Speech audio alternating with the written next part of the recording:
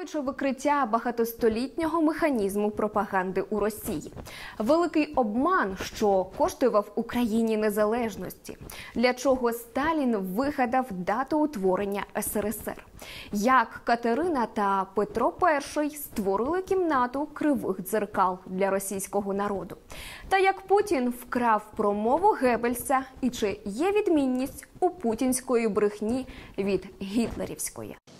Все словно в сумасшедшем домі. Пропаганда це хірургічне втручання з перепрограмування мозку людини. Щось на межі лоботомії здорового глузду. Саме тому ми вирішили відкрити її закулісся, показати методи, механізми та роботу пропаганди зсередини. Я Юлія Синиско, журналіст та історик, і ми провели власне розслідування та знайшли відповідь на усі ці запитання, та навіть більше. Підтримайте наш канал вподобайкою, підпискою та репостом, щоб разом протистояти ворогу. 12 липня 2021 року на сайті Кремля опублікували статтю про історичну єдність росіян і українців. Автором цього витвору став не якийсь там журналіст чи кандидат історичних наук. Ба більше це не був науковець. Робота написана самим метром кремлівської пропаганди Путіним. Трохи більше аніж за тиждень часу. Усі були в перечутті. Можливо, у президента Росії прокинувся дар, і він створив геніальний шедевр. Проте ні, знову суцільне розчарування. У статті сумбурно зібрані тези про те, що українці, росіяни та білоруси єдиний народ, а Україна не держава, а штучне утворення. Публікація стала обов'язковою для вивчення у збройних силах Російської Федерації, і її не випадково зробили настільною біблією для військових. Адже саме ці імперські марення про один народ Путін зробив причиною для розв'язання війни. І рівно через півроку, 24 лютого, направив на Україну сотні ракет. Розпочалась повномасштабна війна. Термін пропаганда латинського походження буквально означає щось, що підлягає поширенню. Він виник у Ватикані у 1622 році, коли апостольська столиця почала активно протидіяти реформації та утворила конгрегацію поширення віри, яку часто просто називали пропагандою. Крізь століття термін трансформувався і увібрав у себе цілий калейдоскоп негативних рис. У третьому рейху існувало міністерство пропаганди та громадської просвіти. В СРСР так званий Агітпроп, тобто відділ агітації та пропаганди при ЦК КПРС.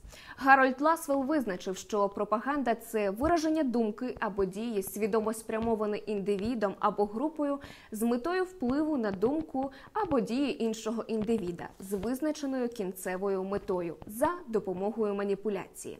Отже, ключем слід вважати маніпуляцію. Всього існує 53 методи пропаганди.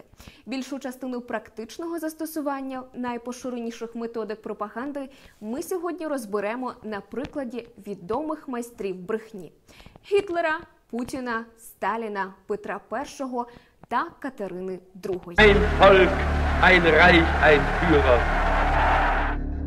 Це девіз нацистської Німеччини, завдяки якому Гітлер прагнув реалізувати свою ідею фікс, згуртувати німців у єдину спільноту та правити цілим світом. Цей та інші лозунги використовувались нацистською пропагандою для того, щоб примусити німців однаково думати, реагувати та без спротиву виконувати всі розпорядження Гітлера та його поплічників. Це був засіб для формування монолітного мовою нацистів народу, свідомість якого перебувала б під повним контролем нацистського режиму. Але що відрізняє пропаганду від звичайного переконування? Це однобокість, маніпулятивність, масовість та систематичність, і, звісно, визначеність цільової аудиторії.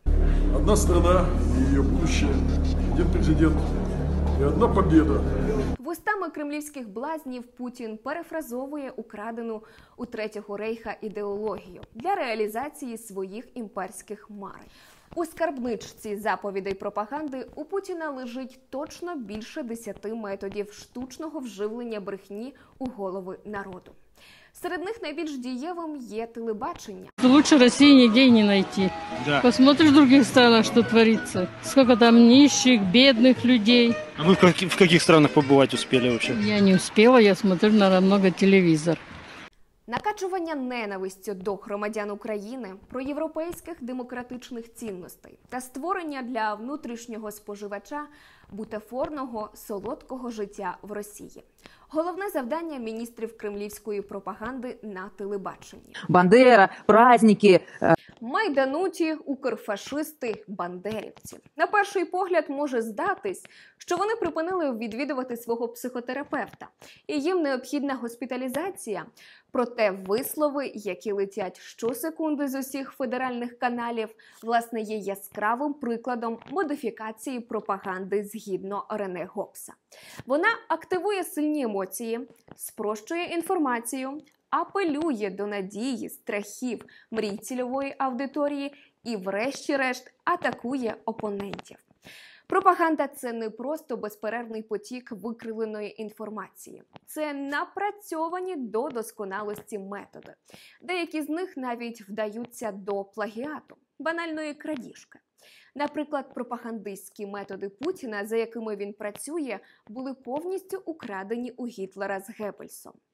Кривава мрія Гітлера про панування у цілому світі та особливу надрасу арійців спонукала вдатись до крайніх методів поширення своєї ідеології відкритої пропаганди, яка місцями була схожа на масовий гіпноз. За цю нішу відповідав Пауль Йозеф Геббельс, рейхсміністр народної освіти та пропаганди Німеччини. Саме він придумав власний метод пропаганди багаторазове повторення, який потім перейменували на його честь метод Геббельса. Згідно нього, навіювання якоїсь інформації відбувається шляхом її постійного втовкмачування в голови людей. Діє принцип. Брехня, повторена тисячу разів, стає правдою. Partei ist Hitler! Hitler aber ist Deutschland, wie Deutschland! 18 лютого 1943 року Геббельс виголосив промову про тотальну війну. Менше ніж через 100 років Путін фактично оголосив ту ж саму промову, проте зі своєю інтерпретацією історичних подій. Итак, начну с того, что современная Украина целиком и полностью была создана Россией. Виступ Геббельса відомий своєю особливою структурою, використанням у звертанні до німців великої кількості запитань, на які вони одностайно реагували у відповідь.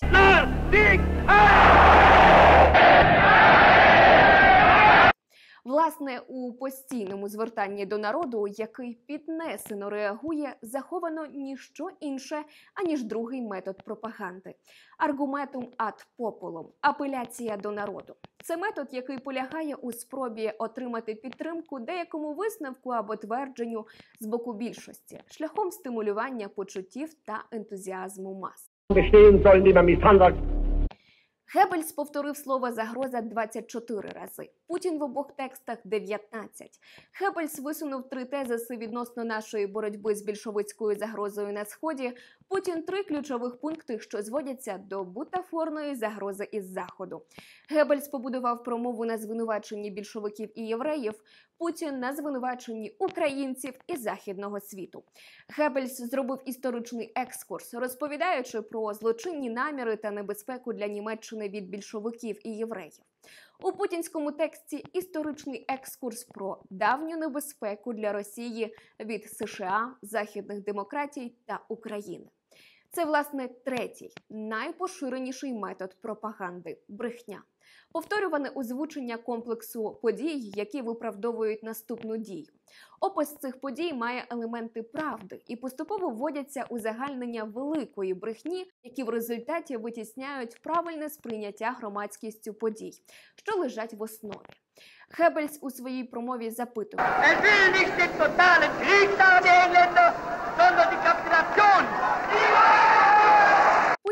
Поставив аналогічне питання. Ви хочете декомунізації?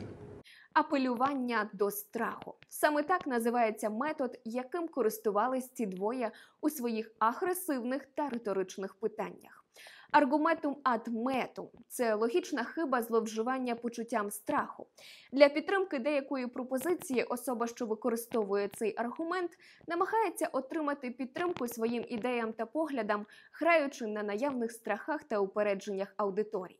Виступ Геббельса мав вирішальний вплив на німецький народ на кульмінаційному етапі Другої світової війни. Промова Путіна викликала не менший ажіотаж і залишила по собі кривавий шлейф. Это не укладывается в голове, что вот это происходит э, рядом с нами на тех улицах, по которым мы гуляли и радовались жизни. То есть это просто сюрреализм. Механізм пекельної машини по знищенні правди у Росії працював століттями, а Путін по уже створеній схемі лише закидує туди паливо у вигляді неї.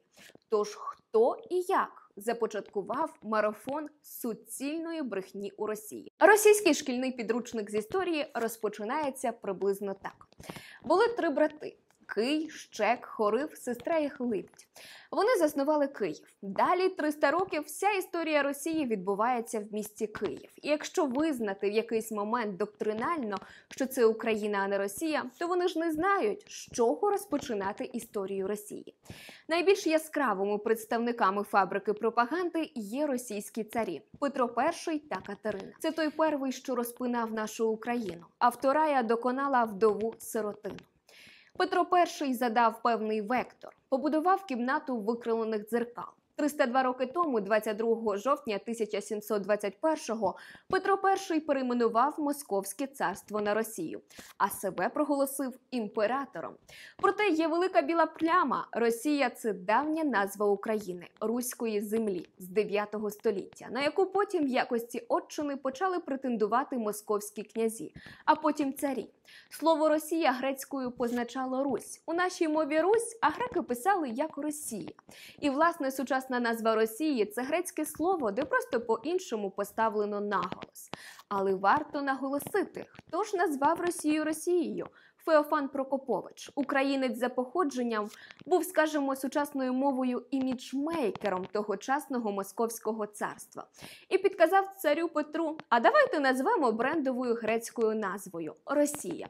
А царя Петра Олексійовича назвали Отцом Отечества. У Гетьманщині несамовитий цар запровадив режим військової окупації і терору. Терористичний режим, коли за неправильний поклін чи іншу провину людей катували чи засуджували до вічних каторжних робіт. Однак це не просто поганий характер чи деспотія правителя, це техніка пропаганди, яка отримала назву диктату, і вона спрощує процес прийняття рішення, використовуючи образи та слова, щоб донести аудиторії, які конкретно дії слід здійснити, обмежуючи будь-який інший можливий вибір. Усе правління Петра це калейдоскоп застосування методів пропаганди. Зокрема, він використовував методику дезінформації, метод створення або видалення інформації з публічних документів з метою створення неправильного документування події. Саме він започаткував в 1701 році планомірну роботу з винищення, вилучення, переписування історичних документів. А також в його арсеналі з'явився метод монументальної пропаганди, використання монументального мистецтва як засобу пропаганди. Для того, щоб продемонструвати історичну тотожність малоросов, тобто українців, з їхнім старшим братом великоросами, тобто росіянами, русифікувати і імперіалізувати українців на території колишньої козацької держави стартувало будівництво пам'ятників, які пропагували лише одну російську історичну перспективу. Петро І розумів, що більша частина населення залишається малограмотною. А гасла, заклики, плакати та різного роду медалі та ордени є найкращим способом для поширення вигідних йому ідей. Саме тому за його правління розпочався так званий марафон девізів та закликів.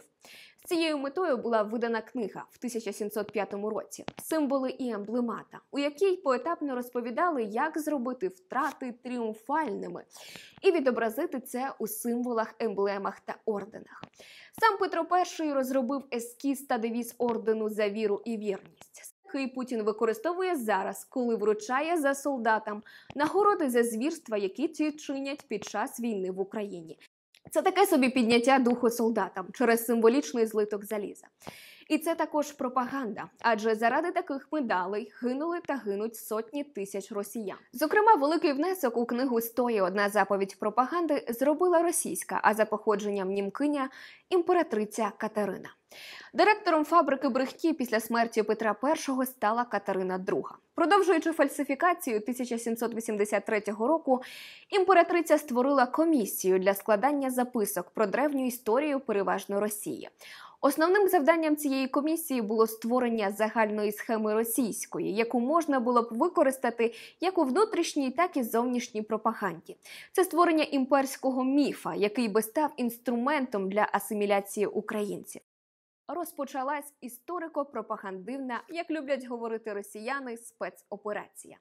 Катерина II ретельно вичитувала матеріали комісії і особисто укладала родовід київських і московських князів. Тоді ж, за вказівкою імператриці, провели ревізію усіх стародавніх першоджерел. Одні виправляли, другі переписували, треті, найбільш небезпечні для імперії, нищили. Саме Катерина репресивними методами намагалася загнати всіх її жителів до єдиного общежиття під назвою Єдиний великоросійський народ. Катерина користувалась методом пропаганди абсолютна очевидність. Замість будь-яких доказів аудиторії вона систематично подавала те, у чому її потрібно переконати. І подавала як щось само собою зрозуміле, і тому це підтримується переважною більшістю населення. Адже людська психіка автоматично реагує на думку більшості і прагне до неї приєднатись. Класичний спосіб це публікація різного роду соціологічних опитувань, які демонструють суспільну єдність з того чи іншого питання. Саме за її правління такі публікувались як гарячі пиріжки. Катерина була справжнім майстро по запусканні пилу в очі, і саме завдяки цьому методу у 1783 році, під час підписання маніфесту про прийняття Кримського півострова, острова Тамань і всієї кубанської сторони під державу російську здійснила найбільший пропагандистський злочин, який коштував тоді Україні втратою Криму. Яку методу абсолютна очевидність Катерині II вдалося переконати народ, що приєднання відбулося на прохання самих кримських татар. А в російських архівах нібито досі зберігаються листи, в яких місцеві присягають на вірність Росії. Звісно, це все брехня, і ніяких листів та натхненних проявів бути приєднаними до Російської імперії ніхто не виявляв. Проте за цією нехитрою аналогією та вигаданим методом Катерини II 16 березня 2014 року Путін провів анексію Криму. Крим і Севастополь возвращаються в родную гавань. Начебто тоді жителі півострова зробили свій вибір на користь приєднання до Ерефії. Проте це ніщо інше, як банальна маніпуляція абсолютною більшістю шляхом фальсифікації соціологічних досліджень. Після смерті Катерини політику по закручуванні гайок українському народові продовжили її наступники. Більшовицька пропаганда дозволила відновити Російську імперію просто під новими гаслами, у той час як інші розпались. Коли прийшли більшовики, Ленін та його друзяки, вони взяли під свій контроль найважливіший важіль впливу на населення пресу. Завдяки декретам, які вони видавали, заборонялось практично усе. Могли писати тільки ті, хто яскраво підсвічував заклики до боротьби проти буржуазії та активно агітував до переходу на сторону Леніна. Однак виникала проблема, адже залишалась все теж велика частина малограмотного народу. Тому розпочалась пропаганда з вуст у вуста. Проводили агітацію у людних місцях, роздавали флеєри та повсюду розвішували плакати. Сотні тисяч пропагандистських гасел ширились по країні як вірус, що поражав усіх без виключення. А з тими, хто мислив критично та креативно, а це була зазвичай інтелігенція, лікарі, вчителі, художники, поети, співаки. Розправлялись жорстоко заслання, в'язниця або ж навіть розстріл. У 1922 році було організовано спецоперацію Філософський пароплав. На п'ять суден зібрали сотні творчих діячів. І могли чинити супротив інформаційному тиску з боку більшовиків на народ та вивезли у невідомому напрямку. До того ж, Ленін використовував монументальну пропаганду, яка мала на меті через відкриття нових скульптур та пам'ятників поширювати ідеологію соціалізму. Відкривались спеціальні курси по пропаганді. Під контроль потрапило також виробництво кіно. Створювались державні кіностудії і виготовляли потрібний продукт для Леніна. Залізна завіса закрита. Заморені голодом 21-го року, покалічені наслідками Першої світової війни, люди опинились у полоні фальші та солодкої брехні про райдужні перспективи. Проте найгірше попереду. Вся земля. Цьогоріч, 6 липня 2023 року, росіяни святкували сторіччя з дня створення СРСР. Путін, знаний фанат пам'ятних дат, напав на Україну 24 лютого 22 року, бо вважав, що Ленін, той, що створив Україну, заснував великий СРСР 30 грудня 1922 року. Таке собі символічне повернення у рідну гавань. Проте СРСР зразка 2.0 відтворити не вийшло. Путін допустився однієї найбільшої помилки. СРСР з'явилось значно пізніше, 6 липня. 1923 року. 30 грудня було задекларовано тільки договір. Союзний договір у дію не введений. Тож юридична поява Союзу Радянських Республік була оформлена тільки 6 липня 1923 року. Це один із найбільших міфів пропаганди Сталіна, який він використовував, щоб утриматись при владі. Вождь всіх народів активно переписував історію України, намагався стерти важливі історичні дати, захищав СРСР від так званих інтервентів і тих, хто несли потенційну загрозу його ідеології. У 1931-му було створено Держрадіо, щоб розповсюджувати потрібну інформацію серед населення. Радіоприймачі встановлювали безкоштовно у найбільш людних місцях та приватних оселях. Для поширення пропаганди використовували творчих людей, які готові були писати вигідно, щоб отримати певні плюшки: квартиру, фінансову вигоду, подівку у Європу. У 32-му році активно почали створювати спілки письменників, митців, композиторів. Їх загнали у монолітне об'єднання, адже так легше було контролювати їхню творчість і через неї транслювати вигідні наративи.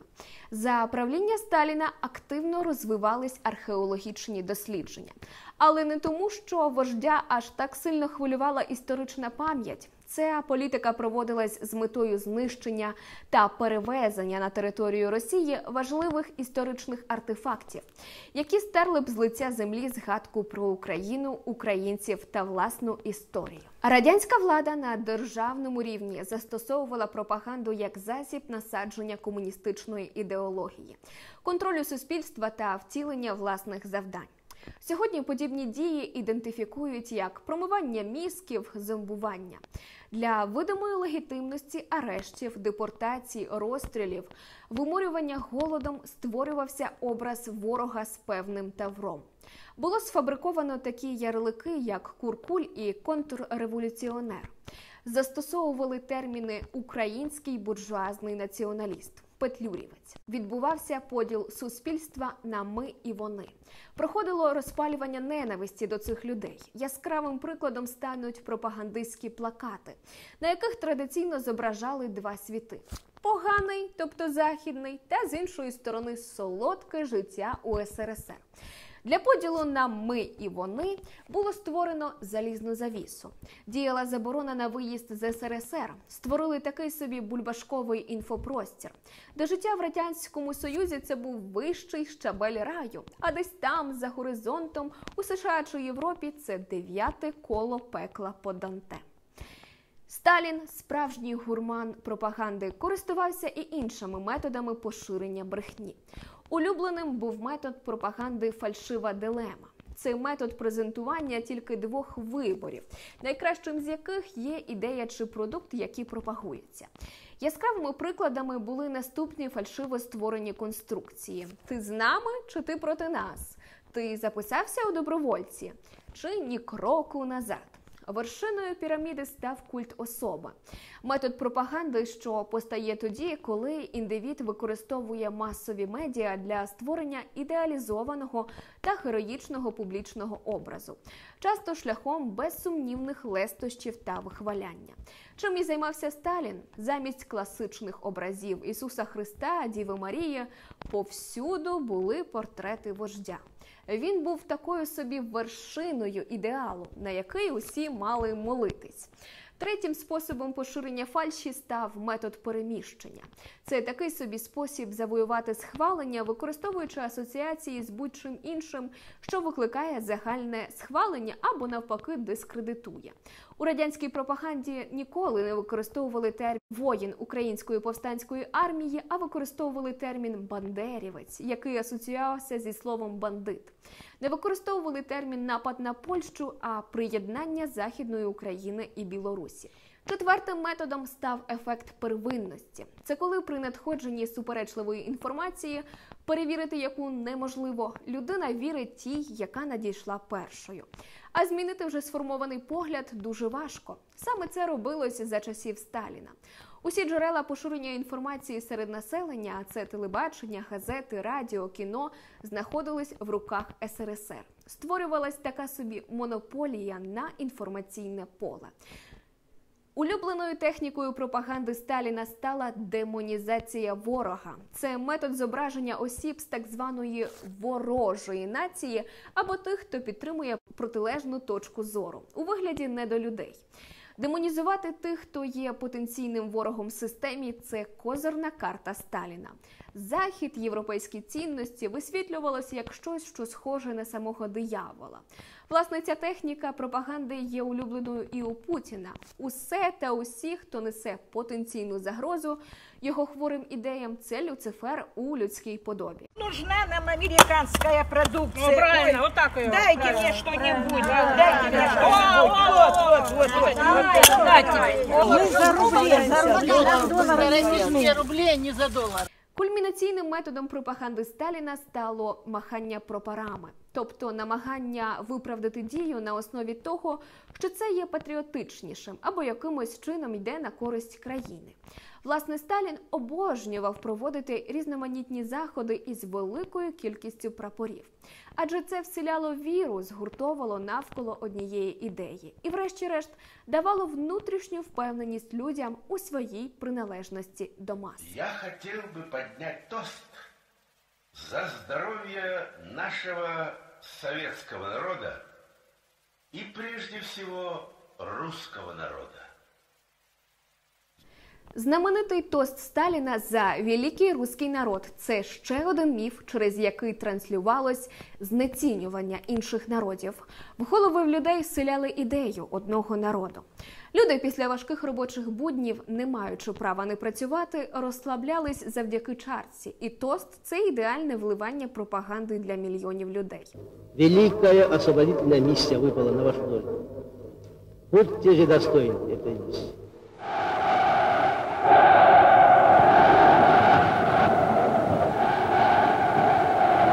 Тоталітаризм, гулаги, розстріляне відродження, розправа із невірними усе це було складовою сталінської пропаганди.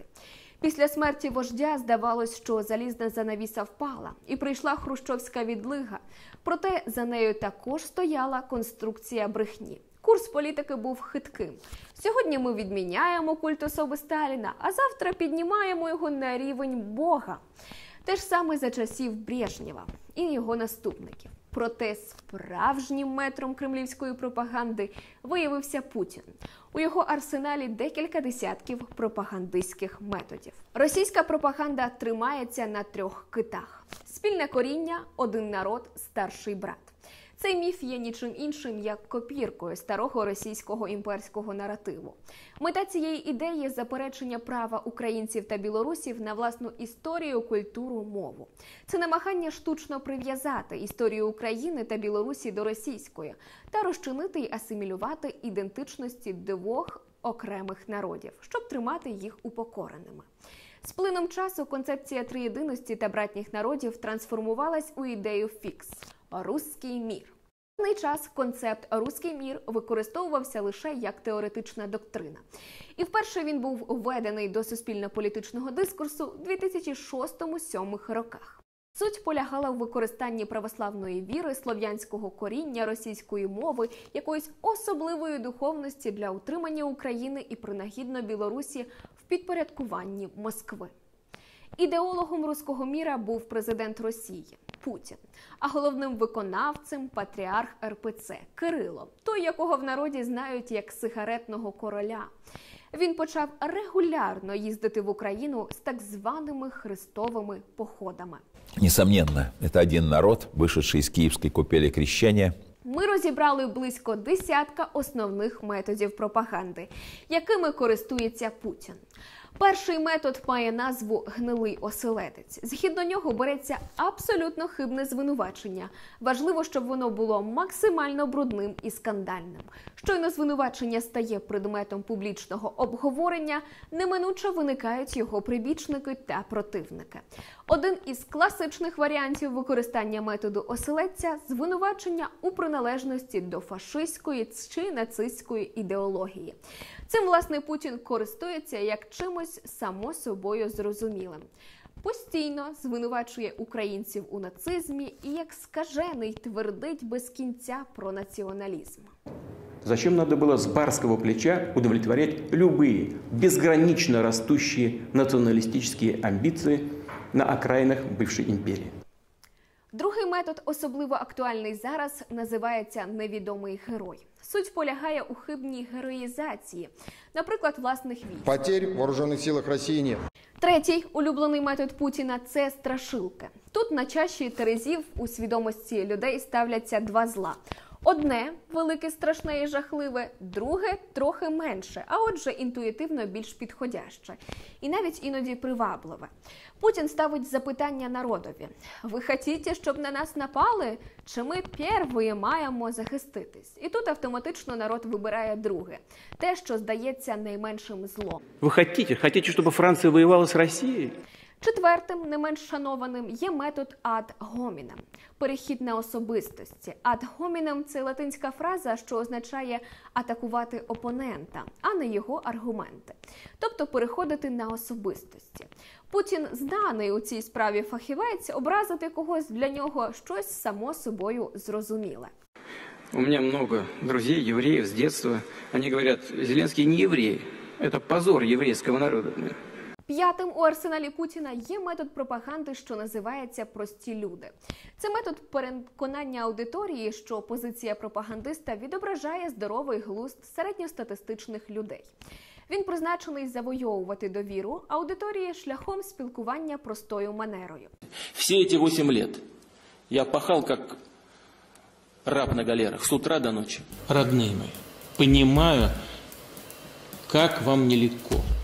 Но сейчас нужно еще потерпеть. Шоста заповідь пропаганди Путіна це обкладання матюками. Це метод, коли пропагандист використовує техніку ненормативної лексики для провокування страхів.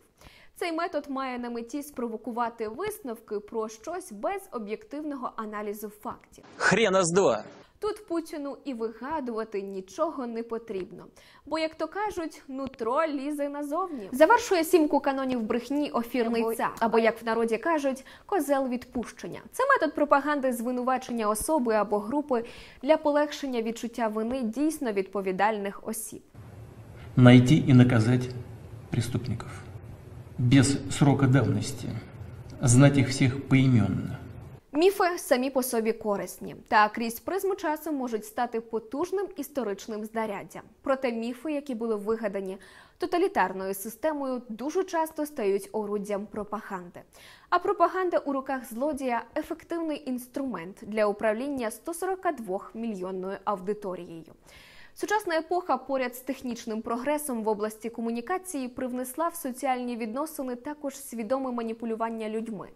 Тож чому стається так, що певна частина людей опиняється в такій собі клітці, полоні брехні, а інша частина перебуває на волі. Відомі психоаналітики пояснили цей феномен. Людина суспільна істота. Життя без інших людей для неї протиприродне, незважаючи на те, що люди далеко пішли від тварин в процесі еволюції. В питаннях, що стосуються колективної свідомості, ми не відрізняємось від приматів. Один з таких феноменів інстинкт стадності. Всі володарі світу, всі засновники релігій або держав, апостоли всіх вірувань, видатні державні люди і просто вожді маленьких людських громад завжди були несвідомими психологами, які інстинктивно розуміли душу натовпу.